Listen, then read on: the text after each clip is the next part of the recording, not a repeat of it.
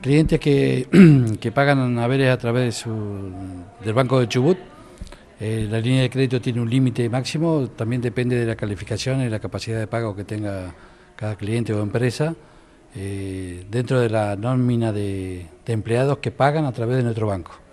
Esa línea de crédito tiene una tasa de interés del 24% fija y es pagadera en seis cuotas mensuales, o sea, pagadera a 180 días.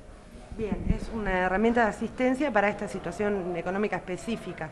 Efectivamente, para eso se creó la línea y está recién habilitada, así que específicamente por, este momento de crítico que está viviendo no solamente las pymes, sino también los comerciantes, pero de los comerciantes se está hablando de otro tipo de, asistencia que a través de provincias se le va a dar, pero todavía de eso no tenemos nada en concreto porque estarán evaluando y este, delineando las la características de los créditos en cuanto a tasa, plazo de pago y demás.